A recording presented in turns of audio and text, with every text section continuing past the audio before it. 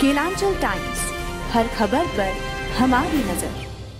नमस्कार, आप देख रहे हैं केलांचल टाइम्स और मैं हूँ आपके साथ सपना ठाकुर। रुक करते हैं बड़ी खबर की ओर। इसरो ने पहला सोलर मिशन एल को सफलतापूर्वक ग्यारह बज के पचास मिनट पर आज लॉन्च कर दिया है, जिसके बाद अब कई सारे वहाँ से अपडेट्स भी आने वाले हैं। P S L V C five seven rocket से आदित्य एल वन को लॉन्च किया गया। P S L V Aditya L one को पृथ्वी की कक्षा में स्थापित कर देगा, जहाँ से आदित्य एल वन अंतरिक्ष यान अपने लिक्विड एपोजी मोटर्स के शक्तिशाली इंजनों का उपयोग करके कई बार अपनी कक्षा को बढ़ाएगा, जो इसे आदित्य एल वन को अपने गंतव्य तक लगभग 15 लाख किलोमीटर दूर लैंग्वेज पॉइंट एक तक पहुँचाने में बड़ी भूमिका निभाएँगे।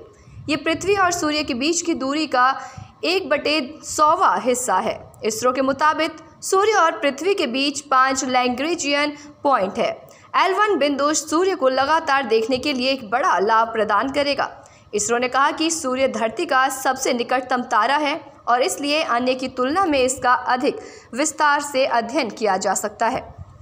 इसरो ने कहा कि आकाशगंगा और अन्य आकाशगंगाओं के तारों के बारे में, सूर्य के बारे में और भी बहुत कुछ सीखा जा सकता है।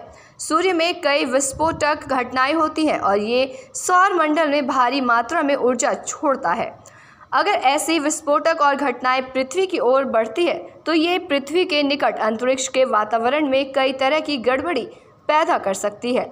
इसरो ने कहा कि अंतरिक्षयान और संचार प्रणालियाँ ऐसी गड़बड़ी से खराब हो जाते हैं। इसलिए इस तरह की घटनाओं की पूर्व चेतावनी मिलने से पहले से ही सुधारात्मक उपाय करने के लिए समय मिल सकता है।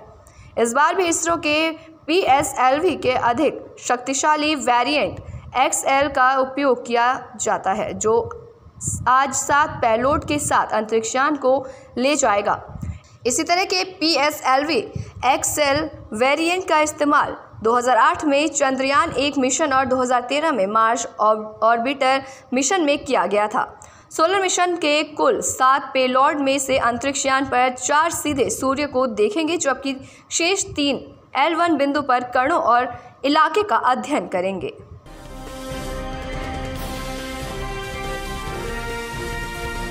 केलांचल टाइम्स, हर खबर पर हमारी नज़र।